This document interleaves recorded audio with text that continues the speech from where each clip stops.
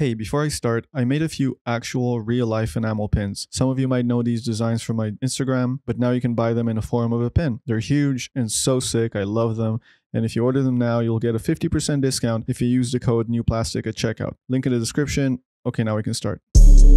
Hey, Guy from New Plastic, and now that ACES is an integral part of our rendering life, it's time to compare it to a pretty new color profile in town, AGX. Before that, feel free to check out the latest procedural Damascus pack on my Gumroad with over 20 fully procedural, highly realistic, and infinitely customizable Damascus materials for Octane C4D. If you want to have some fun with it, um, link in the description. Also consider supporting on Patreon and membership where you get all these tutorial project files as well as other cool perks, but mostly help me make more and better content for y'all.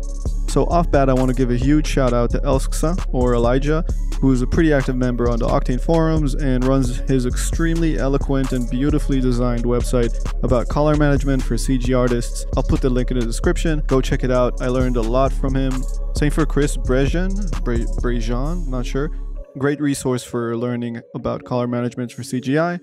Another huge shout out to Troy Sobotka, who developed AGX. I can't begin to imagine the genius and visionary brain behind developing this, this thing, which technically is not a color profile, but more of a rendering transform.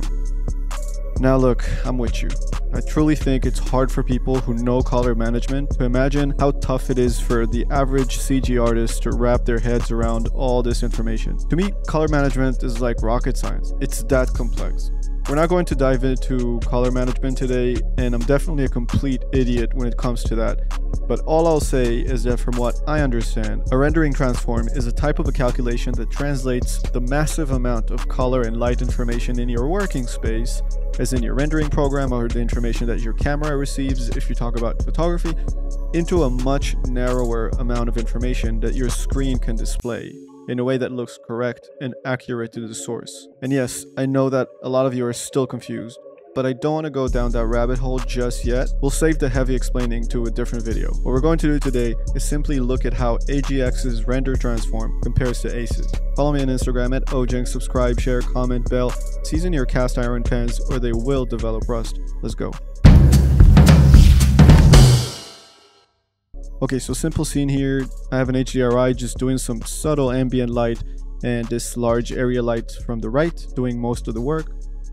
So right now I have the image tone mapped through ACES. So this highlight compression isn't doing anything and we can just view the ACES tone mapping in the live viewer. Uh, without ACES, you'll just get a regular sRGB curve on the image, which gives us less than desirable results. We can crank up the highlight compression, but it just doesn't compare to the way ACES is dealing with highlights and shadows. But we don't care about that in this video. We're here to see how the new AGX transform is comparing to ACES. So to activate the AGX profile, you'll first need to go to the color management tab in your Octane settings tab and input the AGX config file. You can get it on this GitHub page. I'll put the link in the description. Once you're here, you'll click on the green code button and click download zip. You extract the zip file and you'll have this config.ocio file, which is the file that you should input here, just like we had to do with ACES before the last Octane update. Once you did that, you go to the camera imager tab, OCIO tab, and now you'll have all these AGX view options. I chose sRGB AGX, and in the OCIO look, choose punchy. And that's it.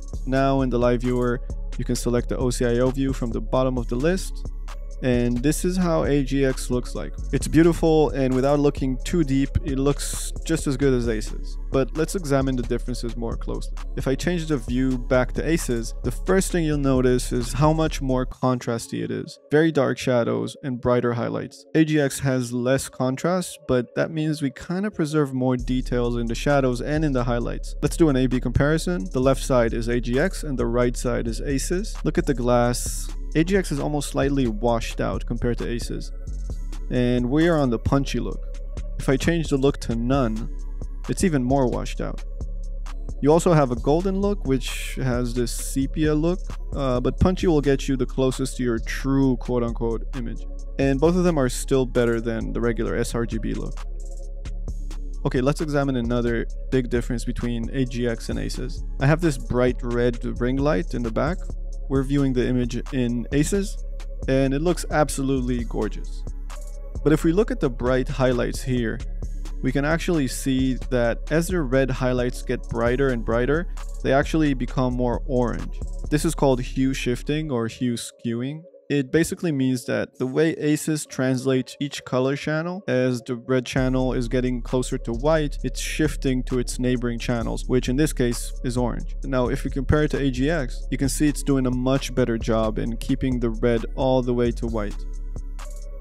Not only that, but it's now easier to see that AGX is shifting to white less quickly. The highlights get brighter more gradually, keeping more detail on the way. This makes a pretty significant difference in how both images look. But is one better than the other?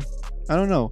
Technically, AGX is more correct, but artistically, I personally kinda love that hue shift. It feels more like a realistic imperfection. I mean, if you actually look at photos of bright red light sources, you'll see kind of the same effect.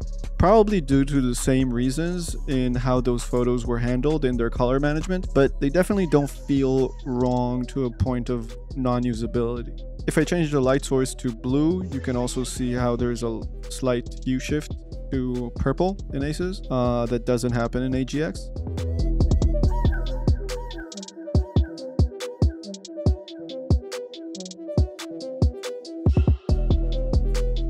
That hue shift is also not happening in regular sRGB. Other than that, both AGX and ACES are doing a great job in extreme over and under exposure, beautiful transitions to bright and dark.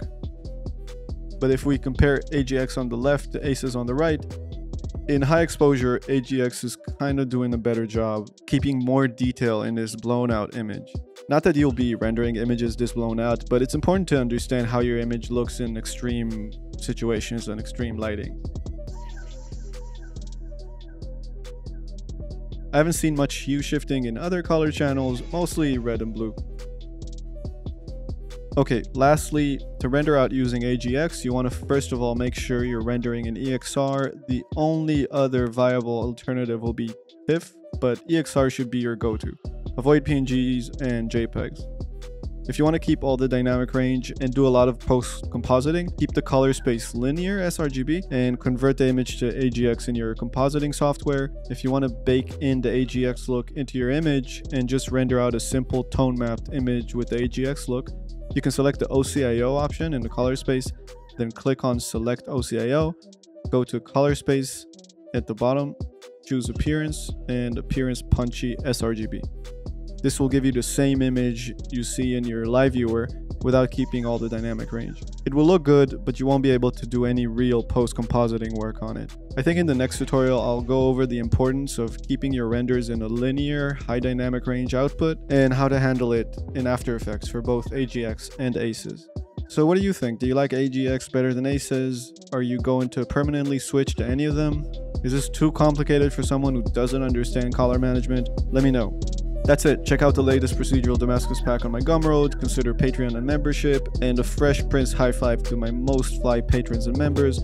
Manuel Melez, Ian Ngong, Guillaume Lopez, Dave Toro, Marie Robbins, Svoris Chari, Eric Hu, Daniel Larry, Minky Kim, Hadir, Jamie Nix, Leo, Miss Kick 2S, Peter Odiger, Junji Shin, Chris Hyde, Elda Boyd, Farong Farong, Katie Royal, Derek Frederickson, Rasmus Holmqvist, White Pix, 3D Monkey Biz, Arlen, Suki Violet Sue, The 22 Design, Joel Rieger, Adrian Desvalet, Derek Schultz, Maurice Hickendorf, Studio Image, Matustra Jazajewski, Blue Hamill, Mark Reagan, Joshua Akoy, Ponsacornim Siri, Webb, Hong Idiot, Maddie DeGreldre, Cho Yun Jun, NZE, IMN, Golfino666, Ali Esser, Mouse from Next House, Rom30, Leandro Merriman, May, Baugasm, Shane, Perry Cooper, Big Max, MyZDD, Hannah Kazeka, Lotaro Gonzalez Toledo, and everybody else on the list. Thank you so much. I love you. Have a great day. Peace.